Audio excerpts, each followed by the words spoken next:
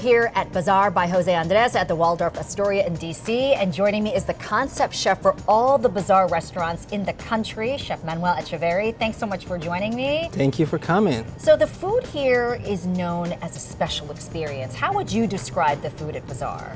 Well, every bazaar is a bit different. Uh, the bazaar is, is whimsical. Is I like to call it elf. So elevated, loud, and fun, Oh, but elevated, loud, and fun.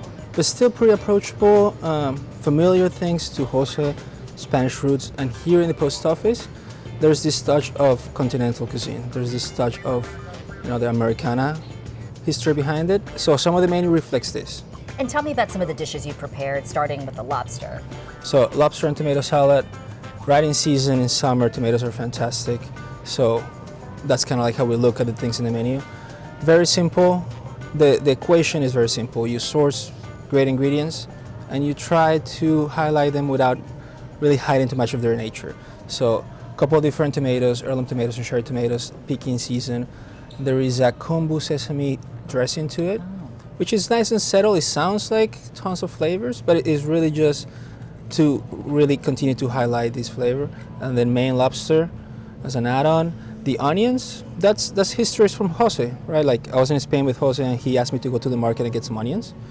And then he just sort of like soaked them in sherry vinegar for 10, 20, 30 minutes and put them raw in the dish and were fantastic. Mm. So we're, we're representing that experience here.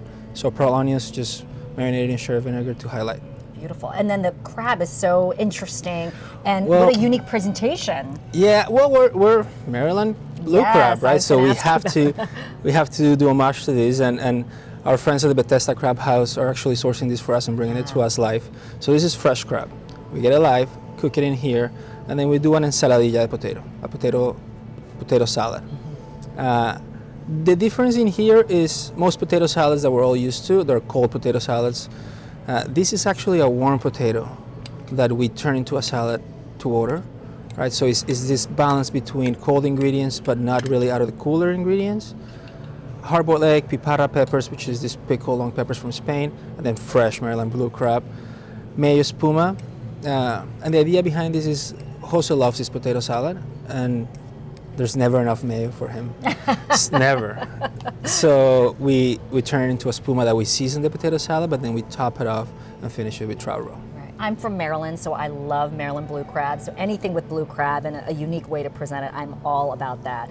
And what about this dish right here? This is one of our bazaar classics. This dish has been in our history since LA, Ah. about 15 years ago, and and that's part of what we're trying to do here is bring back this nostalgic essence of the original bazaar, right? And that's how Jose said, like we're coming to the post office, let's bring back the bazaar. Okay. So some of these dishes you'll see through the menu. This is a, a, classic marriage between burrata and peaches. So the sphere uh, or the burrata are actually spheres.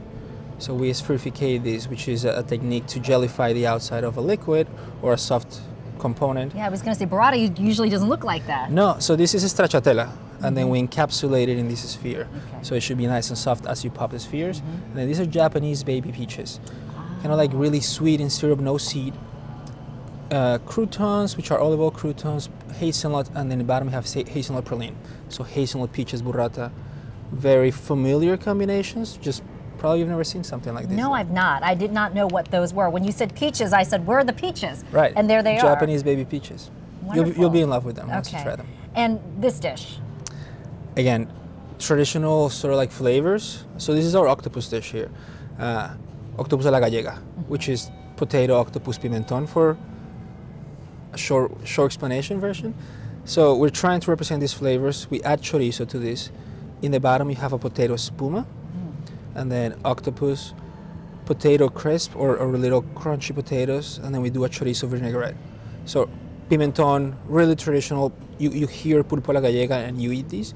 Might not look like your traditional, but once you try it, it brings you back to those memories, right? And that's bazaar.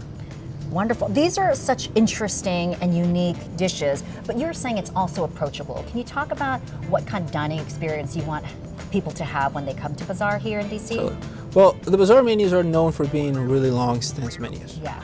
Uh, and that's in a way so you can have a multitude of different experience. So you can come and have two different tasting menus that we have, and, and let us curate your your full experience. But you can also come and have a couple of tapas and a beer downstairs and, and be on your way, right? So the intention is that you can come 10 different times and have a different experience every time. And it's approachable in terms of we have small tapas, a bit larger dishes, some full-on experiences, but really, if you let us guide you through the process, we can create different environments every time. We know you have to travel around the country for Jose Andres.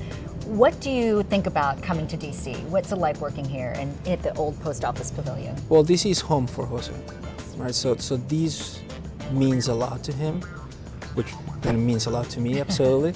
but he, he coming to the old post office is, is a dream that he's had for a while, and finally being able to bring this dream to realization and bring in a bazaar, which is a very, very dear concept to him, is, is almost like a closing the full circle. So it, to us was, was coming home and bringing that spirit of the original bazaar from LA is, is really the only way we could do justice to this. Well, it's a beautiful space with beautiful food to match. Chef Manuel Echeverri, Thank thanks you. so much for your time. It's a pleasure.